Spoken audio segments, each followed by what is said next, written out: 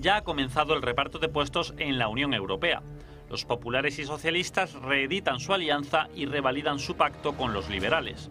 Von der Leyen repetirá al frente de la comisión si así lo confirma la Eurocámara. Entre los equipos negociadores estaba Sánchez, que facilita la reelección de la germana a cambio de que los fondos europeos sigan llegando pese a los incumplimientos y a cambio del silencio de la Comisión sobre la amnistía. De hecho, en el contexto de las negociaciones, la Comisión ha hecho la vista gorda sobre el exceso de déficit del Ejecutivo español y no se le aplica el protocolo que conlleva un monitoreo de gasto público. En la elección de von der Leyen no ha sido necesario negociar con los partidos soberanistas, Identidad y Democracia y el grupo de conservadores y reformistas. A la negociación no fue invitada Giorgia Meloni, a pesar del peso de Italia y del extraordinario resultado cosechado por Fratelli.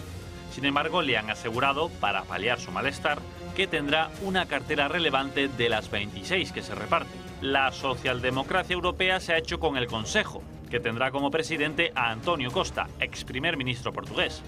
Populares y socialistas han barajado la posibilidad de dividir la legislatura en dos mandatos para ambos gobernar sendas instituciones en algún momento.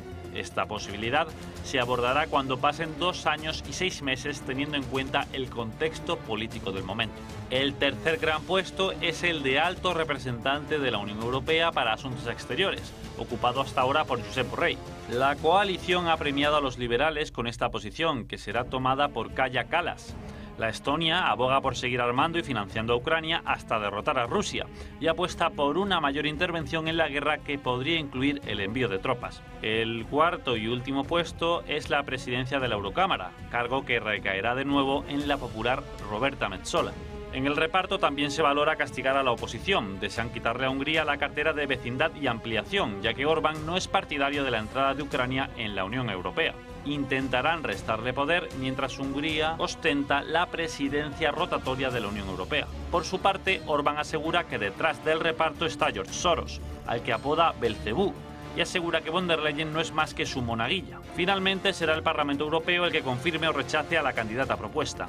La votación tendrá lugar a mediados de julio y von der Leyen precisará de al menos 361 apoyos de los 720 eurodiputados.